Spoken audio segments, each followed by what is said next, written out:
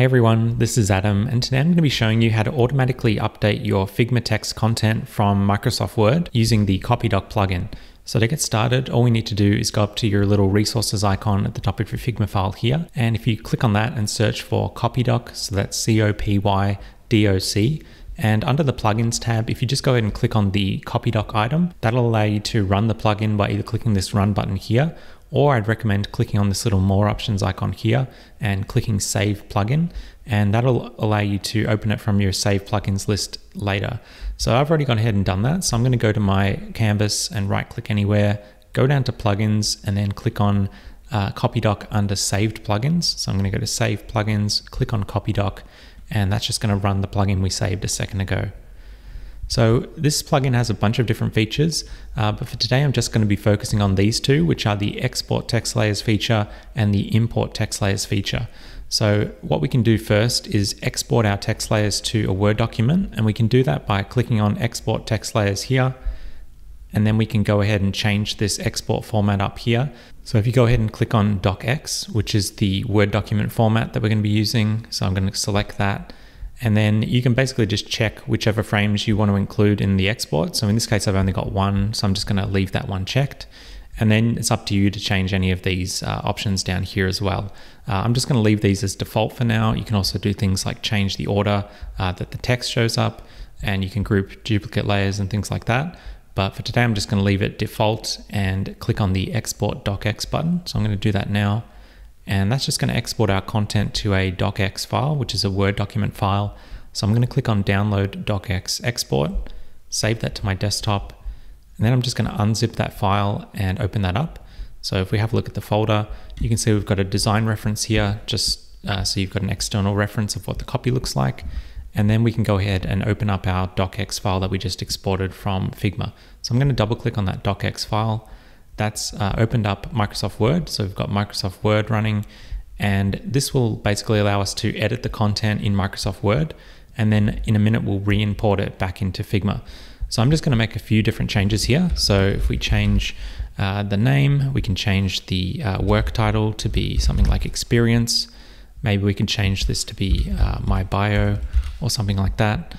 And maybe we want to change uh, some of these company names to uh, some different ones. We could change some of these tags. So you've got these little tags down here that's being exported.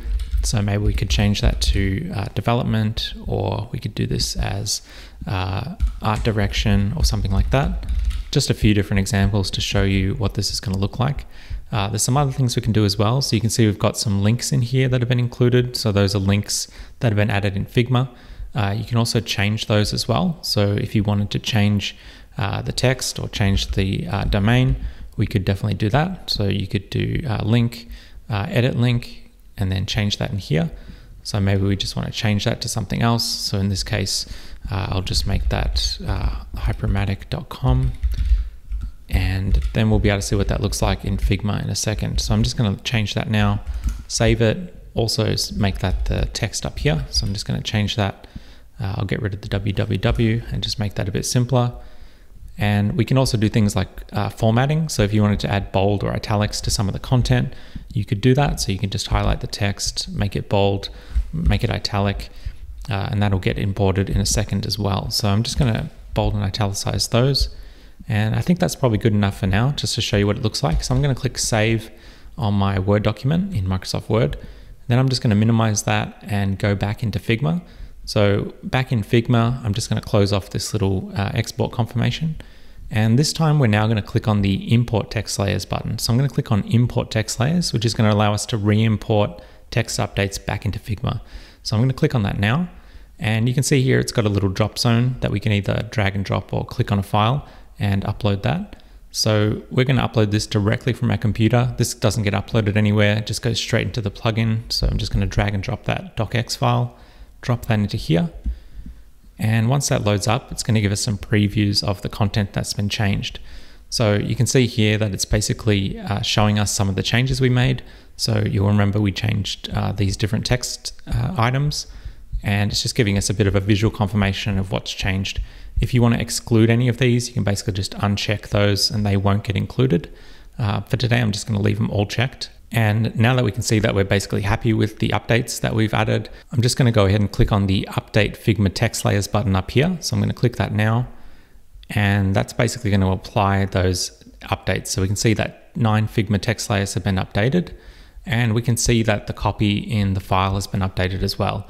So you can see here we changed the name, uh, we changed the subheadings, we changed the company names, uh, we added some extra tags or some different tags. So you can see art direction's been updated. Uh, that was changed from concept art to art directions. All the tags have been updated. We added some formatting. So we got some formatting up here uh, that we added. And we've also got, uh, yeah, as I mentioned, the uh, company name as well. So that's basically just a really quick example of how you can uh, do that. Uh, as you can see down here, we've got our uh, updated link. So because the text is a bit longer uh, than it was previously, that text uh, may have to change position. So maybe we have to move some of these text layers over. Uh, this is much easier if you're using auto layout. So if you're automatically uh, setting your frames to position the contents using auto layout, uh, on your Figma frames. That's going to make this way more flexible.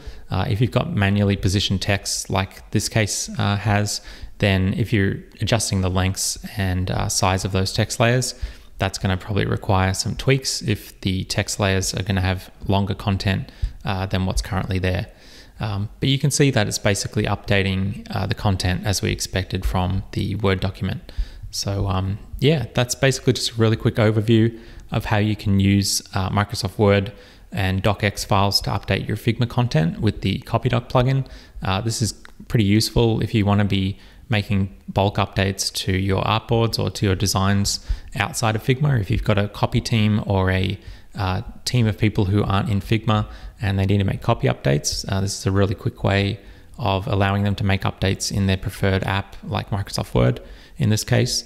And then you can then re-update uh, your Figma file based on importing that updated file as well. So um, we'll leave it there for today. I just wanted to keep that really short just to give you a quick overview of how you can use uh, docx files to update your Figma content from Microsoft Word. I hope it helps you or your team uh, if you've been wondering how to do this. So thank you as always for watching and we'll be back with more Figma tutorials like this one very soon.